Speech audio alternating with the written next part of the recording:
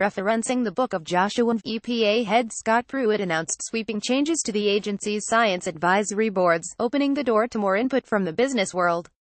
EPA head Scott Pruitt on Tuesday signed a new directive about who can serve as science advisors to the agency.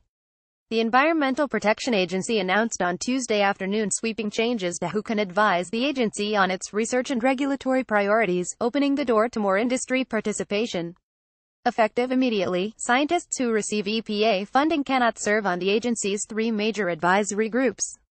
Some Republican lawmakers have been pushing for similar changes to the agency's advisory boards, continue Reading.